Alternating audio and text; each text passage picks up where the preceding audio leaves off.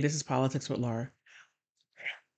I have a good one for you, but it's very interesting on one hand and disturbing on the other for allowing all this to happen. Now, earlier this morning, I was on Twitter and I saw something that disturbed me to the point to where it not only shook my core, but it made me start this to make this video.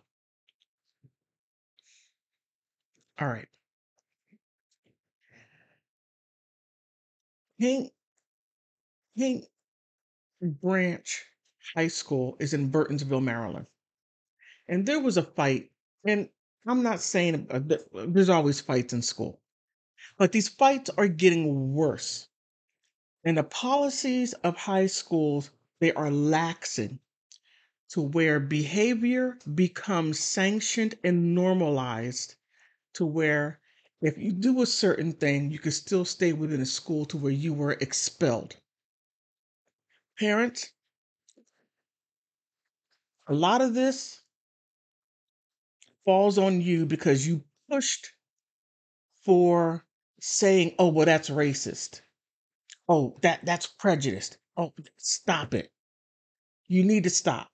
If your child is acting a fool and out of control within a classroom and stopping the flow of academics because they want to act a fool, that is not prejudice.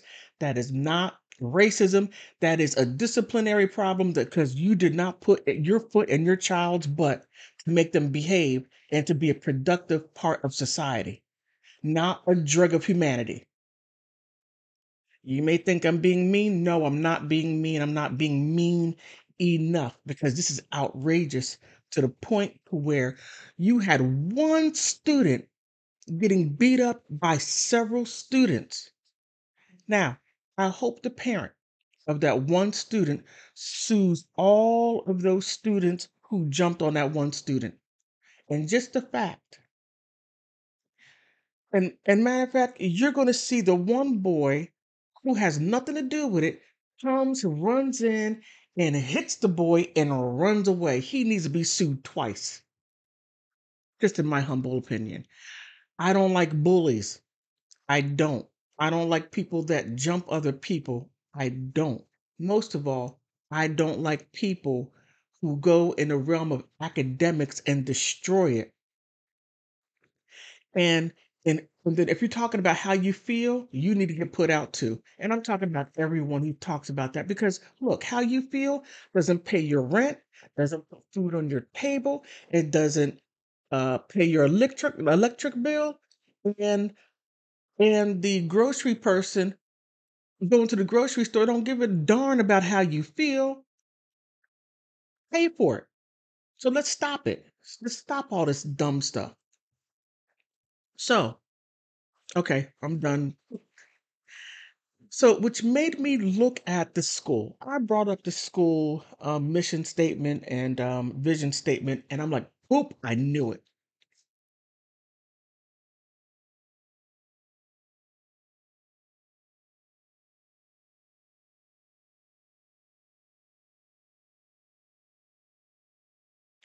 I knew it.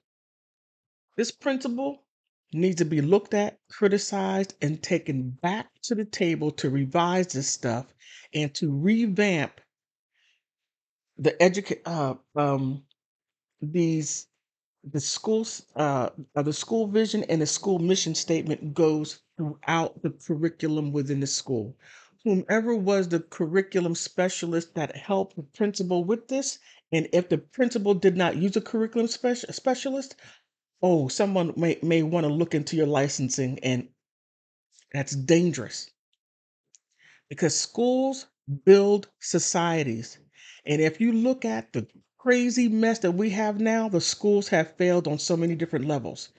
But let's not forget the parents, because the parents are the ones who are producing this, allowing this, sanctioning this, and relaxing the policies because they don't want to do anything with their children.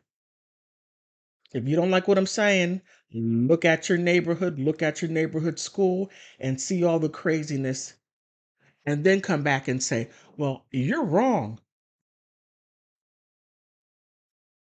Prove it. I'll show you this video. But before I get to that, check this out. You can't you can't make this stuff up. I screenshot. I tried to do it different ways. It didn't work. But okay, the vision statement. Like I said, you can't make this up. Vision statement. Paint Branch High School, a community where students are valued, engaged, and empowered every day. That's the vision. One sentence. Students are valued. How? I, I I did not see any students being valued in that hallway to where that one student was getting a slobber knocker beat out of them. Engaged. Yeah, the students were engaged in slobber knocking that student. Empowered. Yeah, the students were empowered to do that to that student. You need to revamp this stuff. Mission statement. It gets better. Our mission is to empower our community to live the paint branch way through effort, excellence, equity, and empathy. Okay, let's, let's, let's gonna break this down. Empathy, I did not see any empathy at all. The only thing I saw was hatred, anger, and despair. Equity. What equity are you talking about? Equity of outcome or equity of opportunity? Because they had the equity of opportunity of beating a slobber knocker out of that student. Excellence. I didn't see any excellence. Not a one. And effort, they had to they they most definitely took effort to do that. And this right here lays all of this lays at the foot of the principal because the principal is the head administrator that allowed this stuff to go on. The administrator knew this was going on and did next to nothing about it. And in uh, Maryland, uh, Montgomery County, you need to do better because this right here is outrageous. Outrageous. You need to do a better job. You're getting paid all of that money through the taxpayers and producing what? What, what are you producing? Gladiators? Oof. You can't make this stuff up. But check out the video that I'm going to place in the community section because I can't I can't put it on here. It is outrageous. It's despicable on so many different levels. But on that note, tell me what you think. Additional information to this video, and it gets worse. A tweet.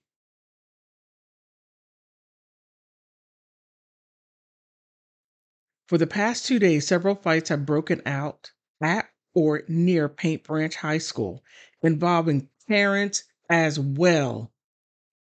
Today, a weapon was seen during a fight involving a group at nearly um, a group at the nearby Popeyes. The crowd has dispersed, however, police are staying in the area. Like I said, you can't make this stuff up. Parents, that's why I said you need to sue the parents. Look at their behavior. This is outrageous. We are in trouble as a society.